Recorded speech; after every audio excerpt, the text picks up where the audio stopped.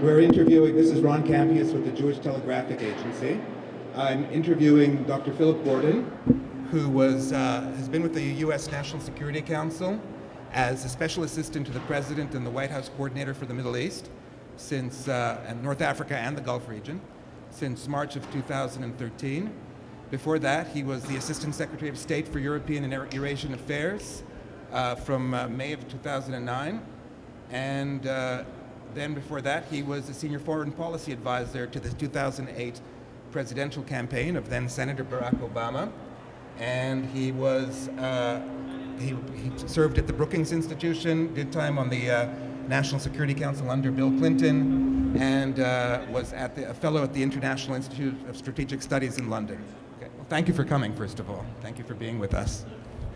Um, I wanted to start off with uh, you, you, you, said at the National Iranian American Council a couple of months ago, you anticipated that if, uh, if there is a deal in Iran, if, there, if, if this works out, the talks work out, that it could begin a multi-general process that could lead to a new relationship between our countries. And just now, yesterday, we had the uh, Ayatollah Khamenei outlining his nine-point plan for destroying Israel. So I wanted to ask you, I mean, is it conceivable that the Iranian theocracy, as it now exists, could have relations with the United States? Is that something you anticipate? So let me let me first of all, it's uh, nice to be here and have a chance to exchange views with you on uh, on a range of subjects. First, to clarify the quote, multi generational, I believe was right, the yes. not general but generational. Right. And let me just tell you what uh, the Iran negotiations are about and what they're not about. They are about finding a way to prevent Iran from getting a nuclear weapon and to make sure that any nuclear program in Iran is exclusively peaceful because we think that an Iran with a nuclear weapon would be a tremendous threat to us, to Israel, uh, to the world, to the non-proliferation system. So these negotiations with Iran, which are going on as we speak, are solely focused on stopping Iran from getting a nuclear weapon. They're not about, so that's what they are about. They're not about transform the US, transforming the U.S. relationship with Iran. They're not about uh, uh, accommodating Iran. They're not about overlooking Iran's destabilizing activities in the region or policies towards Israel or support for terrorism. And uh, so the reference to could begin a process. It is true that if Iran starts to become a more responsible actor by showing that it's willing to abide by Security Council resolutions, engage in a commitment with the international community, uh, and give up its nuclear weapons program, then we do believe it is the case that generations from now you could have a different Iran. But that's not what this is about, and it's not what we are seeking in these talks with Iran. The president said yesterday that there's a, uh, there remains a gap. He didn't sound very uh, optimistic about November 24th. What happens if on November 24th there's no agreement? Do we go to a, an extension? What happens? Uh, first thing is we are focused on a different scenario, which is getting it done. And the president did say there are big gaps. Uh, there are. We've been at this for uh, some time with the Iranians, and we will only accept an agreement that blocks all of the potential paths for Iran to get a nuclear weapon. So that means they can't go down the enrichment path, whether at Natanz or Fordo. It means they can't go down the plutonium path through their reactor at Arak. It means they can't go down a covert path. We need more inspections, verification, and transparency. So we are uh, determined to make sure that uh, they have no way of getting towards uh, a nuclear weapon. So there are gaps because they are trying to preserve some things that we are simply not prepared to uh, accommodate. Uh, it is not, however, impossible to close those gaps. There is still time. Our negotiators are there. Frankly, uh, nobody expected this would be easy and that Iran would make these concessions up front, but I dare say they know what they need to do. Uh, and what we're focused on is getting it done before the, the 24th. Uh, anything after that dramatically reduces the chances for a deal. And if there's not a deal, then, uh, then there, there are big problems for everybody. So you return to zero. You start working with Congress to sanction Iran because certainly the new Congress is is kind of itching to uh, Yeah. sanction Iran. Well, first of all, we have already worked extensively with Congress to sanction Iran. That's why we think Iran has come back to the table. We have worked with Congress and with the international community to impose the most comprehensive international sanction structure that has ever existed, that has really increased the cost to uh, Iran of uh, failing to abide by its commitments on this score uh, really imposed a heavy price, and we think that's what got Iran back to the table. I do think it's important to stress in there we worked with Congress and we worked with the international community because these sanctions only really became effective when the world got on board. The EU oil embargo, which you know a decade ago no one would have imagined uh, possible, uh, South Korea, Japan, China, India. By getting the whole world uh, on board, we've really put the pressure on Iran, and that gives us a shot to resolve this peacefully. So we're already working with, and I stress that because going forward we have to keep that in mind as well.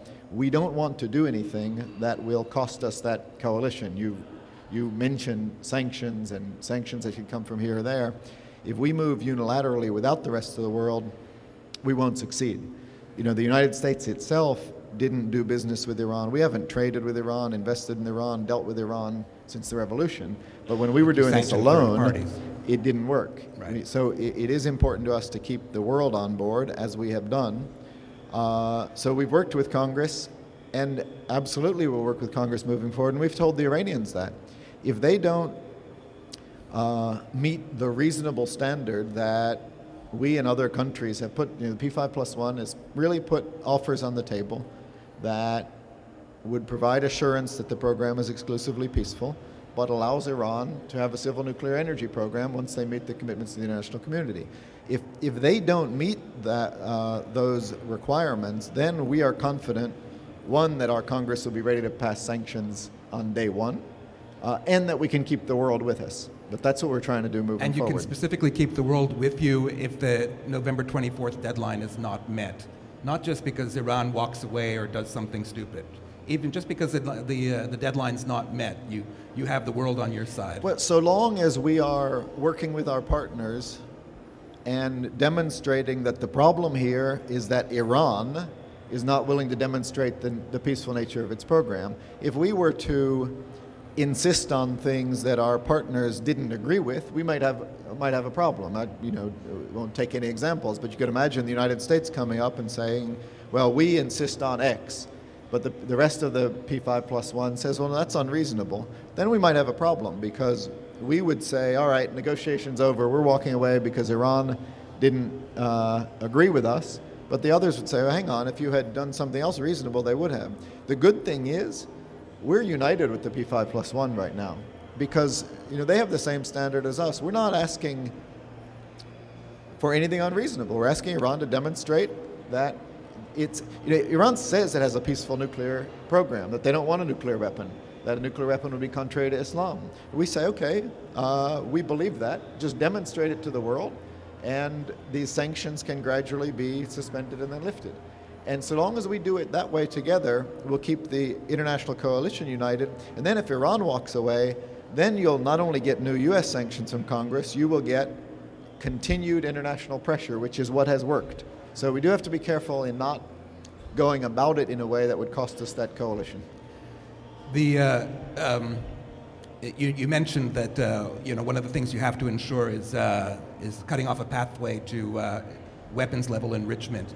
There's a considerable difference between you and the uh, Israeli government, between your government and the Israeli government, on, on what that means. The Israeli government does not want to see any enrichment capacity. They want to see the centrifuges destroyed. I'm not sure exactly where you are. I've heard of leaks about having the pipes dismantled, about all sorts of ways to keep enrichment down to 5%. Uh, how do you address that with Israel? And, you know, the, the Iranians, you, you talk about inspections. With inspections, with uh, two of the best spy agencies in the world, Israeli and United States, the, Israeli, the, the Iranians built this massive weapons, uh, not weapons, but enrichment facility in a, in a, in a mountain. And nobody noticed until 2009. How, how do you, how do you ensure, how do you reassure the Israelis? Uh, a couple things. First, I wouldn't overstate the differences. You say, you know, we have one view, Israel has a different view on blocking off enrichment. Actually, you know, in a certain sense, we have the same view. Uh, we also would like to see Iran have no enrichment capacity, whatever. That uh, has been our position. It is our position now. The best outcome for, uh, uh of these talks, the best outcome on the Iranian nuclear program would them for them to have zero centrifuges and zero enrichment capacity. Uh, we in Israel agree on that. We have taken the view that given that Iran already has a significant enrichment program, which it built up uh, over the years in multiple American administrations and Israeli administrations, uh, built up to a certain point, uh, has the 9,000 operating centrifuges has, that it has now and a certain stockpile of enriched uranium. We have taken the view that if we can get satisfaction on all of the other things that concern us, uh, which is to say uh, inspections and transparency, blocking off the plutonium path, uh, dealing with weaponization and possible military dimension, dealing with Security Council resolutions. Uh, if we can get confidence in all of those areas, we can imagine living in a world in which Iran has a small enrichment capacity uh, that is, is, it possible to get con confidence when Iran has a small enrichment capacity? It has eight tons of, uh, of low enriched uranium at its disposal uh, right now. Uh, we'll find out in these talks if it's possible, but that's precisely my point. If we could get the stockpile down to a size where there was no risk that they could quickly use it to uh, build a nuclear weapon, and if the number and types of centrifuges were such that it would take them a long time, like a year at least, to develop enough uh, highly enriched uranium for a bomb. And if we, through inspections, could have confidence that they didn't have the capacity to turn it into a weapon and deliver it, the, eh, then that extended timeline would give us enough confidence that if we detected an attempt to break out, we would have plenty of time to deal with the problem. So again, would we rather they have zero centrifuges and zero enrichment capacity? Of course, that would be better. But what we don't want to do, and that's maybe an example of where I was saying we need to keep the world together. We could, in these talks, take the view that the only acceptable outcome to us is zero centrifuges. We could show up in Vienna or Amman, or wherever it might be, and say zero centrifuges. But if the result of that was Iran saying, well, on that basis, no deal, tomorrow we're going to not only uh, start again enriching at 20%, we're going to install the 10,000 centrifuges that weren't installed uh, before. We're going to restart the Arak reactor. Then we would have the clock ticking towards a real uh, crisis, a real breakout capacity, and we would be reduced to very poor options, which would be letting them have a nuclear weapon, which we obviously aren't going to do, or using military force, which has all sorts of other consequences and would only set the program back a certain amount of time. That's why we've said, yes, we can imagine a small enrichment program so long as uh, we had confidence that if they tried to break out, we would have plenty of time. Let's go to uh, the. And that's the only sort of deal we'll accept. Let's go to the Israeli Palestinian conflict. You had two terrorist killings today in Israel. Uh, a woman was killed in the Alon Shvut, and uh, a man, a soldier, was killed in, uh, in Tel Aviv. Both were stabbed to death. You have uh, unrest uh, among Israeli Arabs. According to video that's posted, a, uh, an Israeli Arab was shot by police while retreating, and that's tr triggered off riots. Uh, and then you have like John Kerry saying recently that he wants to renew peace talks in the in the in the final two years, but but also saying that the sides have to want it. The sides really don't seem to want it right now. How do you, uh, uh, what, uh, does the United States need to take a more proactive role? Well, look, we're obviously very concerned about the recent developments that you cite and have condemned the, uh, the violence and the attacks and the, the terrorism that we've seen in recent days. Uh, but I don't think that those tragic developments are inconsistent with your other point uh, about the American view of the need for peace and a peace process. Indeed, I think they go together because what we've said consistently and what we argued throughout the past year, indeed, we argued since the beginning of the administration, is that in the absence of an agreed negotiated peace process, the risk of violent attacks increases. Uh, and it is indeed the absence uh, of peace that uh, provides the context in which you see. Well, does the U.S. take a more coercive role then? Does it come in with its plan? does it outline a, we, a final we've never, status? We've, coercive is not the word I, I, would use. We've never believed that we can impose it, where we just come in. Some encourage us to do that from time to time. Just come in and tell the parties what they need to do. Uh, we don't think that works uh, either. So that's why we have tried what we believe is the only way forward, which is diplomacy and negotiations. That's why I put such an effort into it last year. Then, too, there were plenty of people saying it'll never work, the parties aren't ready for peace, you don't have partners. But while never being naive uh, about it, we, we knew all of the obstacles, we also have not seen a better answer. Uh, and you know we see that before us today, where in the absence of peace, you see the sort of violence you refer to. You see the, the war in Gaza that so tragically uh, broke out, and other perils no doubt lie ahead. And we say it to our our friends in Israel, and you know we ask it uh, as a question, and we've asked it all along. Both sides obviously need to compromise for there to be uh, an agreement, but uh, if Israel is going to be the Jewish and democratic state uh, and stable and secure place that we want it to be, we don't see the alternative to a negotiated solution with the Palestinians. Are you talking to the leaders? I mean, Mahmoud Abbas is, uh, is ratcheting up the rhetoric uh, regarding the Temple Mount. The, the PLO recently, quote unquote, instructed the media not to refer to it as a Temple Mount, just one example. Benjamin Netanyahu said that uh, protesters, if they wanted, could move to the Palestinian area, areas.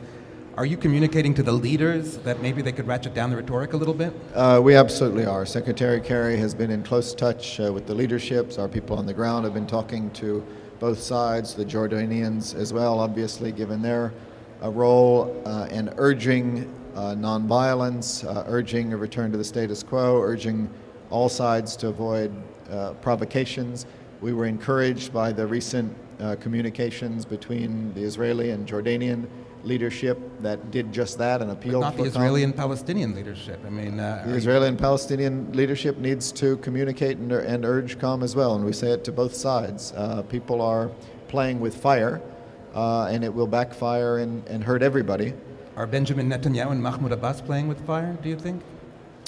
Uh, I think uh, anyone who is not uh, urging calm and nonviolence and a return to status quo uh, runs the risk that, uh, that it could be a very explosive situation. Now, you're, you, have to, you have to maintain a really, you have a strong relationship with Israel uh, uh, on security.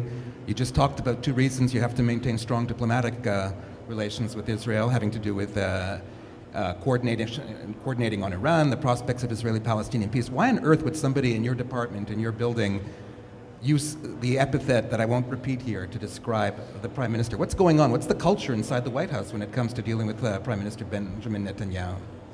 Well, first on the comment and then the broader point. I think you know, Ron, we have been clear that uh, that the comment that you refer, refer to uh, does not represent the view of the administration. Uh, it was an irresponsible comment. It was a counterproductive comment, um, and and so there's nothing more to say about it because there's a sequence of comments. I mean, there's like a whole bunch of comments that Jeffrey Goldberg outlined in his article. There seems to be a, a culture of this, and he seemed to have spoken to multiple people in the, in the administration. What, what is going on there?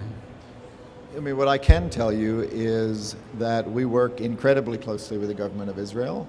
President Obama and Prime Minister Netanyahu, I, I don't know that there's a leader who's been more often in the Oval Office or more often on the telephone with the president. They have enormous strategic interests that they share. The president is deeply committed to the relationship with Israel. Our transparency with the government of Israel and all of the hard questions you and I have been talking about couldn't be more complete. Uh, the, at the very time when the remarks that you refer to came out in the press, we were spending the day. Uh, I joined National Security Advisor Susan Rice for the U.S. Israel Consultative Dialogue where we spent six or seven hours with a team uh, from Israel led by National Security Advisor Yossi Cohen, but also represented by senior leadership in the Israeli Ministry of Defense and Intelligence Community and Foreign Ministry, where we spent the entire day talking about regional issues, uh, sharing views on Iran and that particular challenge. So we were doing the work. We were working together as close, uh, trusting partners, while others were talking about relationships and politics and personalities. And you know that's fine. It's the nature of things. But just understand that you know we have real. Uh, uh, shared interests, shared values, shared strategic interests, and real business to do with the government of Israel, and we do it. Well, let me put it another way. How do you, uh, I mean, the, these, these leaks from both sides, uh, from an anonymous Israeli minister over the summer accusing Kerry of a strategic terrorist attack because of the, uh, uh the ceasefire proposal of Moshe Ya'alon and the things he said. How do you stop that from happening? What do you, what do you tell the Israelis? What, what, what, do they need to be telling you to keep that from happening? Because it does damage the relationship. It does damage the relationship. And look, it's part of uh, the open societies that we have. Uh, and by the way, we don't agree on everything. And we've made that clear too. Uh, there, there's no secret we have differences on different, these are hard issues. We, we don't even agree within the United States, let alone between the United States and Israel. Uh, there are aspects of uh, uh, uh, Israeli policy on some of the things we've discussed where we have a different view, and we say so. And we say so quite uh, directly, and it's therefore not surprising that there are differences. These, again, are terrifically hard issues. Both of our societies are full of people with a wide range of views that, by the way, call each other names domestically, just as people call each other names across. Uh, but that's part of uh, that's part of politics, and it's part of the tough world that we live in. And you know, I think the people who are maybe least fazed by this are the leaders themselves uh, who uh, understand the political challenges that the other leader faces uh, and, the, and the responsibilities that they share in leading their countries. And so again, you know, I know it's, it's really interesting for people to focus on all of that, but uh, we have real work to do and we're doing it together as closely as any, any two governments I can think of. There are times, though, when it seems that even on the leadership level, there's a, a level of mistrust. Over the summer, when uh, the FAA stopped flights to Tel Aviv for a few days or a few hours, uh, it seemed to uh, the the resentment of that, the, the perception that that was actually planned to to pressure Israel, came from Netanyahu himself. It didn't. Uh, it wasn't just rumors floating in the uh, in the stratosphere. I mean, what, how, how could that? How could Net, how could Benjamin Netanyahu believe that? Uh, President Obama would pressure a, uh, an, an, autonomous agency to, uh, to shut down flights. How, do, how, does it, how did it come to that? I can't speak for Prime Minister Netanyahu, but I do think that's a good example of the sort of thing that I'm talking about. First of all, it, I mean, working in the administration, I can assure you that uh, issue on airline security is not something the White House or any political person uh, directs. Uh, when the FAA has concerns based on their own procedures about flights, they advise airlines, and airlines do what you would expect them to do, which is take every precaution to make sure that the people they're flying are, are safe. And we find that entirely reasonable uh, and appropriate. It is also true that the closure of an airport happens to be a highly sensitive matter within a country.